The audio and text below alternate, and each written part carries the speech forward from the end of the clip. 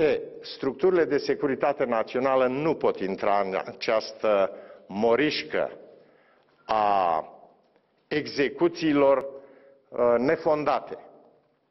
Vă asigur că n-aș avea niciun, niciun menajament pentru un șef de serviciu sau un prim adjunct care, prin nerespectarea legii sau neacoperirea atribuțiunilor instituției, ar greși.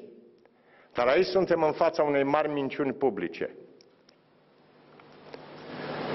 Minciuna că STS-ul ar fi putut să identifice locul în care se află.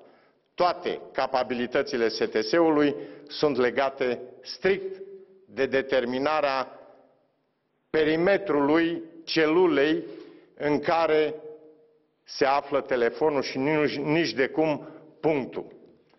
Erau alte instituții care au furnizat informație și dacă ar fi fost puse la un loc, într-un comandament, cu certitudine foarte repede s-ar fi găsit locul în care se afla avionul prăbușit.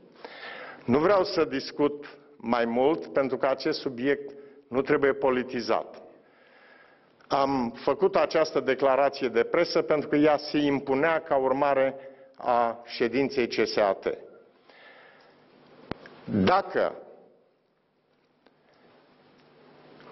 există cineva care poate dovedi sau poate afirma că STS-ul are capabilități mai mari decât cele ce vi le-am prezentat pentru acest caz, vă asigur că nu stau nicio clipă pe gânduri pentru cererea de destituire a directorului Opriș.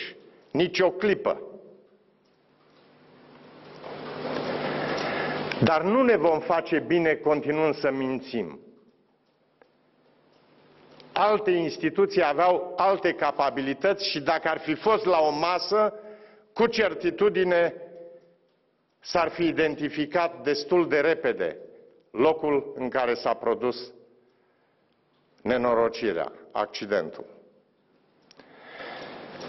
Informațiile pe care le am sunt legate și de aeronavă, și de funcționarea uh, echipamentelor la bordul aeronavei, și de modul de desfășurare a zborului, și cu privire la înălțimile până la care a fost avionul supravegheat de radarele Romața și pe urmă de radarele armatei.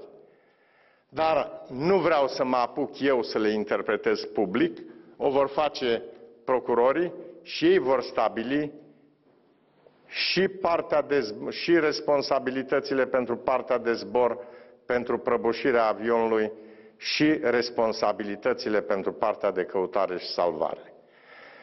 Ce am mai observat însă a fost că sau persoane neautorizate au transferat responsabilități de coordonare către temir cine care nu aveau atribuțiuni de coordonare. Și lucrurile acestea sunt în documente și în probe. A fost o hărmălaie. Din acest motiv, acei oameni n-au putut fi ajutați.